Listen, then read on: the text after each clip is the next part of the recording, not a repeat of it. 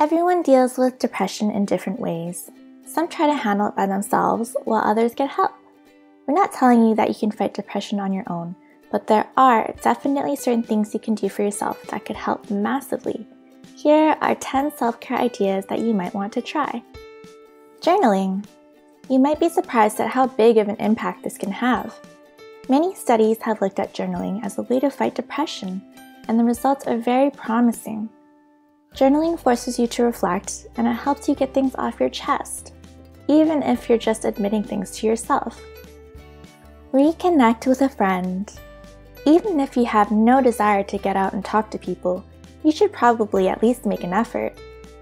Researchers have looked at the most effective strategies for dealing with depression, and actively participating in your own social life is a very beneficial tactic. Humans are social animals, so we actually need a community of some kind. Comfort food. Certain foods and diets definitely have a strong effect on depression. You could choose to go super healthy, and that definitely helps with your state of mind, but you might be surprised at the antidepressant qualities of various foods, including chocolate, which has serotonin boosting qualities. Tea and even coffee are actually great for fighting depression, and this is backed by numerous studies. Humor. You've all heard that laughter is the best medicine. Well, that might not be too far from the truth. Humor is actually a great way to deal with depression. Watch a funny movie, see a stand up comedian, do whatever makes you laugh.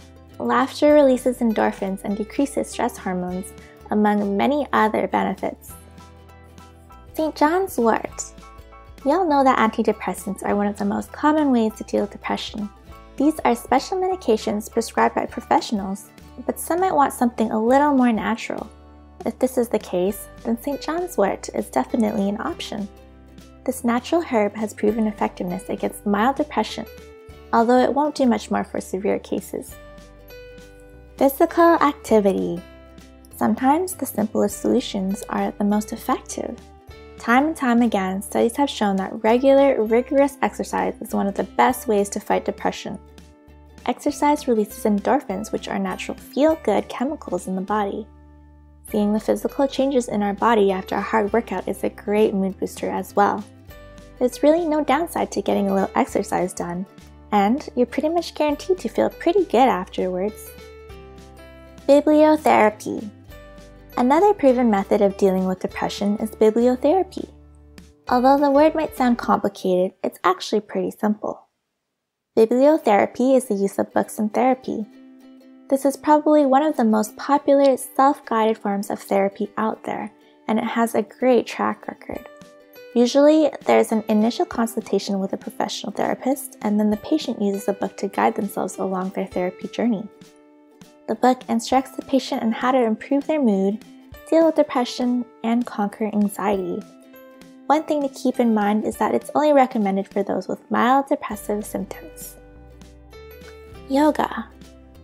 A few different studies have examined how yoga can help with depression, and they've come to the conclusion that it can be very effective. Some would say that yoga is just another form of exercise, but in truth, it's more than that. Many people describe yoga as a kind of meditation in motion. It can be spiritual in nature, and it can also be very introspective. The results speak for themselves. Meditation Meditation might just be one of the oldest self care techniques in history. People have been meditating for thousands of years, and the effects of this practice are well documented. The aim of meditation is to attain inner peace, which makes it a perfect strategy for combating depression.